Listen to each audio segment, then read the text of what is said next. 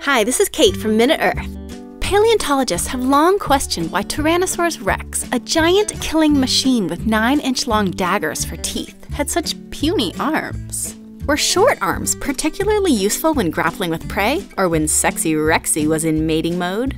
Did they provide just the right leverage when getting up after a nap? Maybe. Like some evolutionary traits, from the gecko's camouflage to the human's opposable thumb to the orchid's deceiving shape. Perhaps those little limbs gave T Rex some real advantage. But it's also quite possible that they didn't. For one thing, T Rex might have ended up with small arms simply because big, or even normal sized arms, were a disadvantage. Perhaps once T Rex's ancestors got big enough, they could hunt and eat with their giant jaws alone, and their arms weren't worth the energy they took to haul around. But evolution can't just swap out not so useful traits for completely new ones. Instead, over generations, T Rex's arms may have simply gotten smaller and smaller until there was no longer a significant cost to keeping them. Then they just stuck around, a lot like how we humans ended up with our tiny tailbones.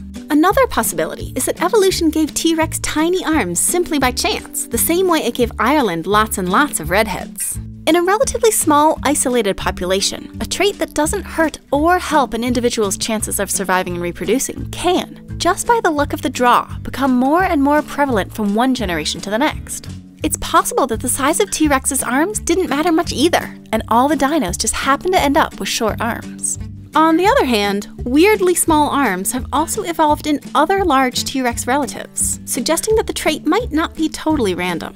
Right now, scientists are studying the microscopic wear and tear on the arm bones of the most famous T Rex of all to determine how she used them.